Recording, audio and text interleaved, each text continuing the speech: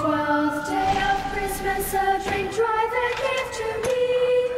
Twelve months in traction, eleven weeks on crutches, ten operations, nine years of nightmares, eight open flesh wounds, seven spinal fractures, six days unconscious, food through a tube, four broken limbs, three heart attacks, two punctured lungs, and